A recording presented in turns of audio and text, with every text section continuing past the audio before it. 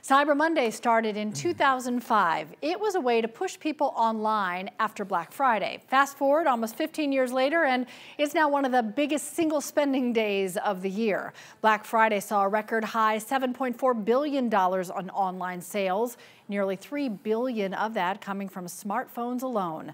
Cyber Monday deals are expected to draw nearly 19% more shoppers than it did last year. And shoppers are expected to shell out about $9.4 billion before midnight tonight. For a list of the best deals right here in Metro Atlanta, check out the article in the As Seen on TV section of our 11 Alive app.